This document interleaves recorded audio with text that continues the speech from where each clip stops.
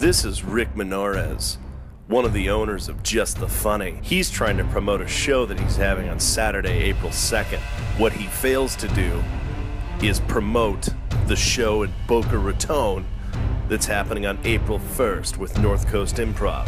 But you have to ask yourself, do you want to see this show in Boca Raton or do you want to see this show in Miami? Okay, he did mention Boca Raton, but still, Now, anyone in Miami will tell you that Boca Raton is Spanish for mouth of a rat. does Rick even look like he knows Spanish?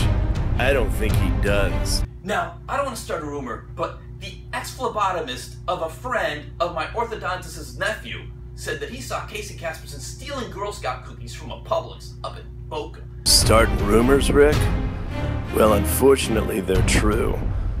And if you don't come see the show up in Boca Raton April 1st, I'll steal your Girl Scout cookies.